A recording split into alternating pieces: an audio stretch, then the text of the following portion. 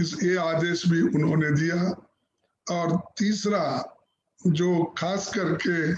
मैं राहुल गांधी जी को बधाई देता हूँ और उनका आभारी हूँ कि उन्होंने यूथ कांग्रेस को इतना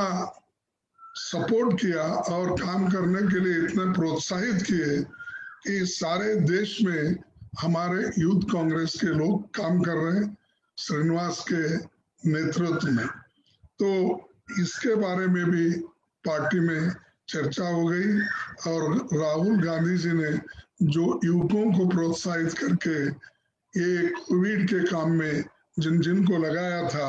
उन्होंने दिल से ये काम करके एक लोगों के लोकप्रियता भी उन्होंने कमाई है और उनको पार्टी की ओर से भी खास करके श्रीमती सोनिया गांधी जी और राहुल गांधी जी उनको प्रोत्साहित कर रहे हैं और उसी ढंग से श्रीमती प्रियंका वाद्रा जी भी आ, सब जगह खास करके कोविड अफेक्टेड लोगों के मुसीबतों में मदद कर रही है। ये भी वहाँ पर बहुत से लोगों ने अप्रिशिएट किया और खास करके जितने एम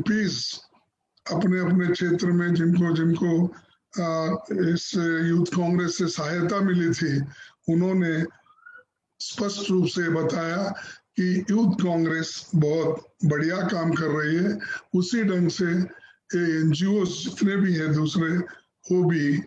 उसमें काम करने का आदेश उन्होंने दिया। और एक